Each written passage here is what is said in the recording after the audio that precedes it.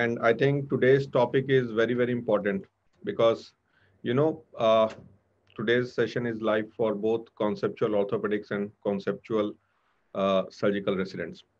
Because these tumors, the soft tissue tumors are very, very common. And uh, day in and day out, we see them uh, in our OPDs.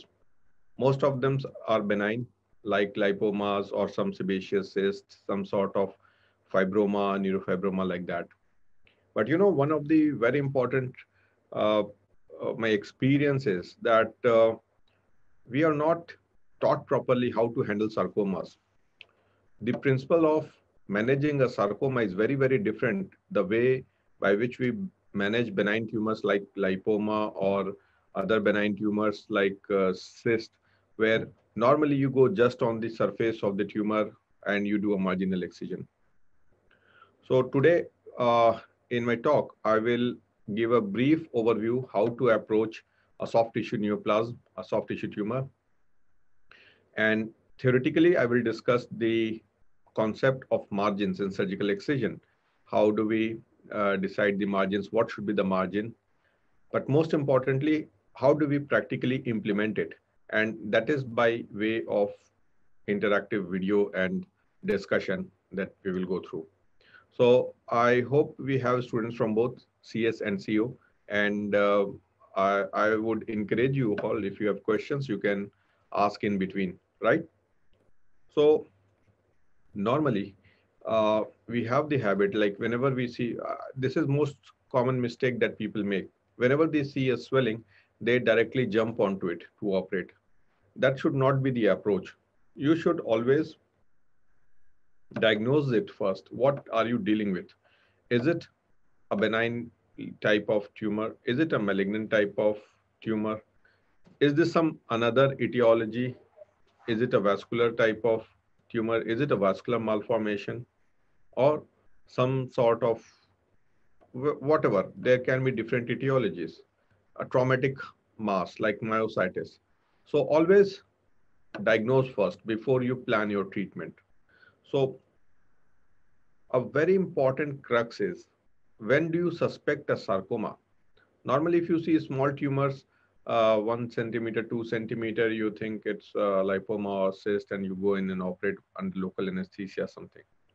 But if you see any swelling that is more than three centimeter in size, deeply situated, which means deep to the uh, superficial fascia, you must be a bit alert. What are we dealing with? Is it something benign or is it some malignant tissue?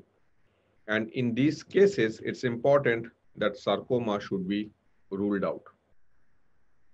So like I was saying, like uh, uh, soft fluctuant mass here, what you see uh, in the subcutaneous plane, yeah, classical of lipoma, probably a simple ultrasound will help you looking at the lesion. Uh, another similar lesion where it has a, uh, you see a puncta, which is the eye spot from where some discharge is coming, you know that this could be a sebaceous cyst. But if the same swelling, which is there, and uh, you see that it is a bigger type of swelling, say more than five centimeter or something, then you, you need to be careful. Don't assume. So I think the most important, never assume. This is the problem which always happens. Whenever you just assume without proper workup, you are going to make a mistake. And the mistake when we treat sarcomas, it's a big blunder because it can cost life, it can cost limb. If it gets contaminated, the surgery, which could be an easily operable surgery, becomes uh, a massive one. You may need a flap cover in cases where you may not need. I recently I operated a case where there was a small lesion in the wrist. It was a sarcoma, but nobody worked it up. Somebody thought it just a similar uh, ganglion cyst or something and went in and tried to take it out and half was removed, half was left because it was deeply situated and the final report turned out to be sarcoma. So these things, it changed the plan. Finally, I had to go in. I revised everything. The tendons were sacrificed. More than that, Now the patient also requires radiation therapy because it was not done properly. And uh, a tumor which was less than uh, five centimeter and could be easily removable, uh, removable with wide margins, but because of a contaminated unplanned procedure, now has to go for a bigger surgery, which includes even radiation treatment as a part of it. So I will discuss the basics and these basics, I think already many of you know that the first part in approaching any lesion is to form the diagnosis. And how do you make your diagnosis? Your diagnosis is made on three parameters. Your clinical workup about proper history, examination.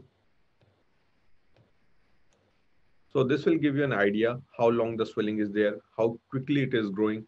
Sometimes it, the patient may give history of four, five years, gives you a hint, could be a benign etiology or a tumor which was there for a long suddenly has started growing. May, may be a case of malignant transformation. So this history is very important. Sometimes the patient may say that the patient noticed a swelling after a history of injury, a myositis mass near a joint, quite a possibility. So a good clinical evaluation, history taking is a must. Second, our supportive investigations. You can ask for ultrasonography, that is the basic minimum. If you ask me what is the gold standard, gold standard is a contrast MRI that will give you exact location of the tumor, uh, characteristic of the tumor, the relationship to the neurovascular bundle, everything. And then you have to correlate it with histology. What is seen on the MRI is a pictorial representation of what is inside. But finally, many a times, of course, this gives us a clue and we know what it would be. But many a times the picture is not as clear and it might be confusing. And so if in either in bone tumors or soft tissue tumors, we need to do, we need to have a biopsy, a histopathological confirmation of the type of uh, histology. And it is not just biopsy. Sometimes we have to go for further testing with immunohistochemical markers. And in some cases, especially in soft tissue sarcomas, about molecular testing. Uh, genetic, uh, the translocation studies like in synovial sarcoma, Ewing sarcoma, these are helpful. So once you have diagnosed that there is a cancer or sarcoma, you need to stage it. That is the second part. Staging means to know exactly the spread of the tumor in the body. So we may use, depending upon the histology, we may use a PET CT scan, uh, which can tell you uptake in both marrow, bone, soft tissues, or in some cases, like specifically myxoid liposarcoma, where you know they metastasize to the spine or vertebral column, MRI may be good, or some tumors which metastasize to uh, nodes, uh, ultrasonography of the local nodes. Uh, when PET CT is not available, you use the local nodes along with CT scan. Because majority of the soft tissue sarcomas, they metastasize to the lungs and many metastasize to nodes. So once you have done your diagnosis workup complete, you know the stage, then only you plan the treatment. So if you see your management part is the third part.